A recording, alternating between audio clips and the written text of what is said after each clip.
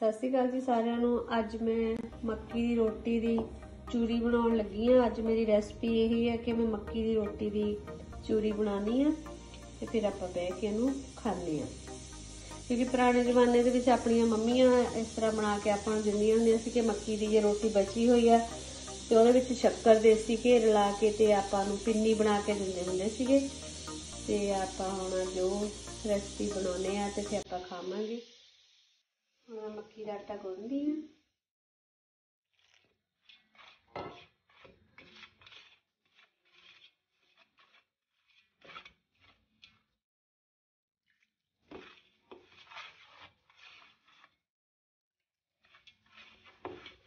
ਕਿਉਂਕਿ ਮੱਕੀ ਦੇ ਆਟੇ ਵਿੱਚ ਕਦੇ ਆਪਾਂ ਮਤਲਬ ਠੰਡੇ ਪਾਣੀ ਨਾਲ ਗੁੰਨ ਹੋ ਜਾਂਦਾ ਤੇ ਜੇ ਨਹੀਂ ਗੁੱਝਦਾ ਫਿਰ ਗਰਮ ਪਾਣੀ ਪਾ ਲੈਣਾ ਚਾਹੀਦਾ ਹੈ।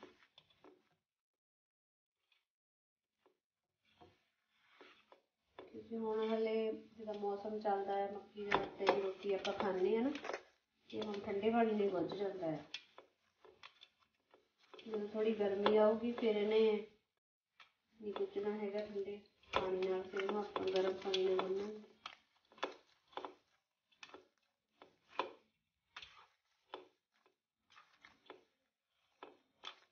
ਇਸ ਤਰ੍ਹਾਂ ਆਪਾਂ ਆਟਾ ਗੁੰਨ ਕੇ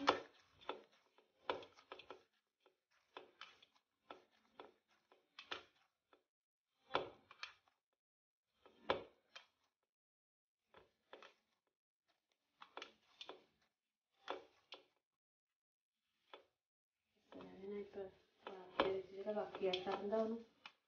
ਨਾਲ ਇਹਦੇ ਸਾਫ਼ ਕਰ ਲੈਣਾ ਹੁੰਦਾ ਹੈ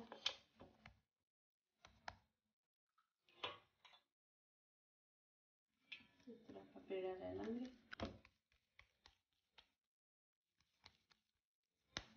ਇਸ ਤਰ੍ਹਾਂ ਪੇੜਾ ਲੈ ਕੇ ਇਸ ਤਰ੍ਹਾਂ ਦੀ ਚੋਣ ਬਣਾਵਾਂਗੇ।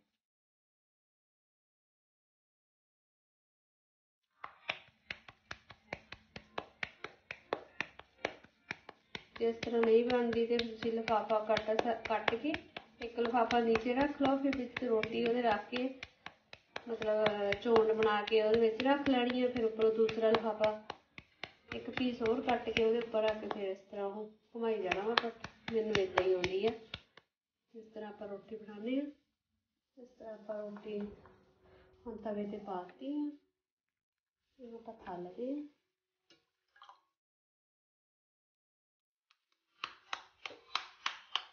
ਰੋਟੀ ਜਿਹੜੀ ਆਪਾਂ ਇਸ ਤਰ੍ਹਾਂ ਇੱਧਰ ਬਣਾਉਣੀ ਪਏ ਤੁਸੀਂ ਦੇਖੋਗੇ ਤਾਂ। ਇਸ ਤਰ੍ਹਾਂ। ਇਹਨੂੰ ਆਪਾਂ ਇਸ ਤਰ੍ਹਾਂ ਚੌੜੇ ਦੀ ਵੱਟੀ ਬਣਾਈ ਜਾਣੀ ਆ।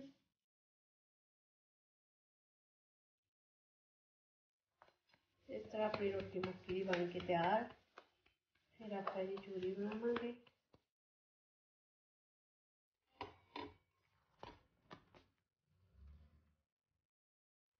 ਹੁਣ ਬਣ ਗਈ दूसरी पा लेंगे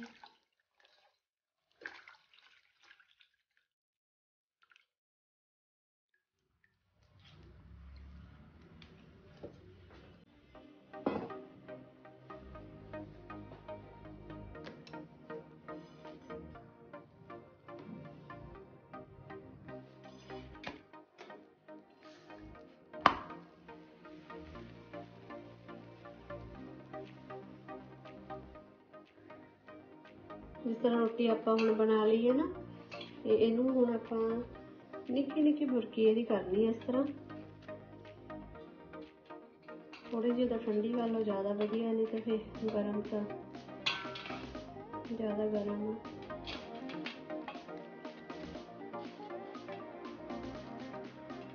ਕਿਉਂਕਿ ਉਹਦਾ ਬੱਚੇ ਮੱਕੀ ਦੀ ਰੋਟੀ ਬਹੁਤ ਘੱਟ ਖਾ ਕੇ ਖੁਸ਼ ਹੈ ਕਿਉਂਕਿ ਉਹਨਾਂ ਨੂੰ ਚੰਗੀ ਨਹੀਂ ਲੱਗਦੀ ਕਹਿੰਦੇ ਨੇ ਪਿੱਛੋਂ ਕੱਚੀ ਜਿਹੀ ਲੱਗਦੀ ਹੈ ਨਾ।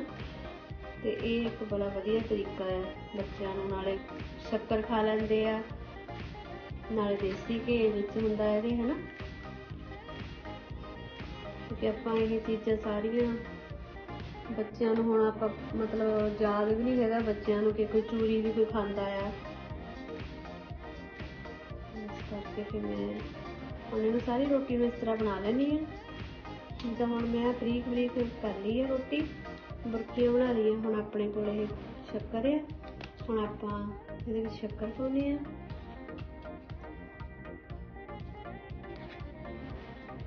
ਇੰਨੀ ਕੱਪਾ ਸ਼ੱਕਰ ਪਾ ਲੈਂਦੇ ਆ, ਕਿਉਂਕਿ ਬੱਚੇ ਥੋੜਾ ਮਿੱਠਾ ਜ਼ਿਆਦਾ ਖਾਣਾ ਪਸੰਦ ਕਰਦੇ ਆ। ਇਸ ਕਰਕੇ ਮੈਂ ਦੇਸੀ ਘੇ ਗਰਮ ਕੀਤਾ ਹੋਇਆ ਆ। ਦੇਸੀ ਘੇ ਪਾਉਣੇ ਥੋੜਾ ਜਿਹਾ। ਤੇ ਥੋੜਾ ਲੱਗਾ ਕੇ ਆਪਾਂ ਹੋਰ ਪਾ ਲਾਂਗੇ। ਇਹਨੂੰ ਪਸਤਾ ਚੰਗੀ ਤਰ੍ਹਾਂ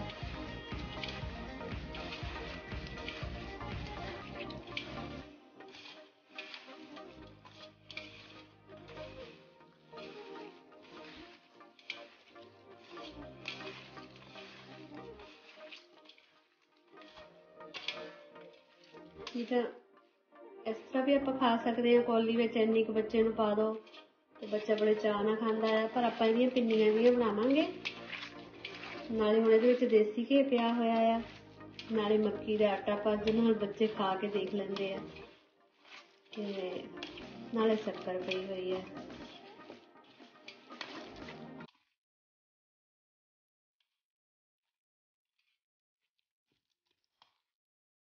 ਕਣਕ ਦੀ ਰੋਟੀ ਦੀ ਵੀ ਇਸ ਤਰ੍ਹਾਂ ਹੀ ਬਣ ਜਾਂਦੀ ਹੈ ਉਹ ਵੀ ਬੜੀ ਵਧੀਆ ਬਣਦੀ ਹੈ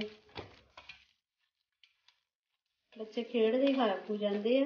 ਤੇ ਚਲੋ ਦੁੱਧ ਦਾ ਇੱਕ ਕੱਪ ਦੋ ਨਾਲ ਇਸ ਤਰ੍ਹਾਂ ਆਪਾਂ ਇਹਨੂੰ ਬਣਾ ਲਾਂਗੇ। ਦੇਖੋ। ਏਦਾਂ ਬੱਚੇ ਖੇਡਦੇ ਝਟ ਖਾ ਜਾਂਦੇ। ਸੀ ਛੋਟਾ ਛੋਟਾ ਸਾਈਜ਼ ਕਰ ਸਕਦੇ ਆ ਆਪਾਂ ਵੱਡਾ ਨਹੀਂ ਬਣਾਉਣਾ ਤਾਂ।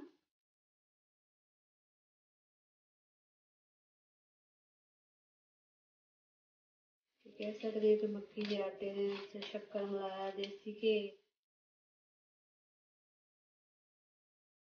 ਪਿੰਨੀਆਂ ਬਣ ਜਾਂਦੀਆਂ ਇੱਕ ਕਿਸਮ ਦੀਆਂ। ਇਸ ਤਰ੍ਹਾਂ ਬਣਾ ਸਕਦੇ ਹਾਂ ਦੇ ਦੇਸੀ ਘੀ ਪਾਇਆ ਹੋਇਆ ਹੈ। ਉਦਾਂ ਬੱਚੇ ਦੇਸੀ ਘੀ ਵੀ ਨਹੀਂ ਖਾਂਦੇ ਹੈਗੇ। ਉਹਨਾਂ ਨੂੰ ਚੰਗਾ ਨਹੀਂ ਲੱਗਦਾ ਹੈਗਾ। ਇਸ ਤਰ੍ਹਾਂ ਆਪਾਂ ਬਣਾਉਂਦੇ ਹਾਂ। ਆਪਣੀ ਮੱਕੀ ਦੇ ਆਟੇ ਦੀ ਔਰ ਸ਼ੱਕਰ ਦੇਸੀ ਘੇ ਮਿਲਿਆ ਹੋਇਆ ਇਹਦੇ ਵਿੱਚ। ਆ ਆਪਣੀ ਚੂਰੀ ਬਣ ਗਈ ਹੈ। ਜੇ ਬੱਚੇ ਇਸ ਤਰ੍ਹਾਂ ਨਹੀਂ ਖਾਂਦੇ ਤੇ ਆਪਾਂ ਲੱਡੂ ਬਣਾ ਕੇ ਖਿਲਾ ਸਕਦੇ ਆ ਉਹਨਾਂ ਨੂੰ। ਤੇ ਆਪਣੀ ਬਣ ਕੇ ਤਿਆਰ ਆ। ਤੇ ਆਪਾਂ ਹੁਣ ਬਹਿ ਕੇ ਖਾਣੇ ਆ ਤੁਹਾਨੂੰ ਮੇਰੀ ਵੀਡੀਓ ਵਧੀਆ ਲੱਗਦੀ ਹੈ ਤੇ ਇਹਨੂੰ ਲਾਈਕ ਕਰੋ। ਵੱਧ ਤੋਂ ਵੱਧ ਸ਼ੇਅਰ ਕਰੋ ਸਬਸਕ੍ਰਾਈਬ ਕਰੋ ਔਰ ਕਮੈਂਟ ਵੀ ਜ਼ਰੂਰ ਕਰਿਆ ਕਰੋ।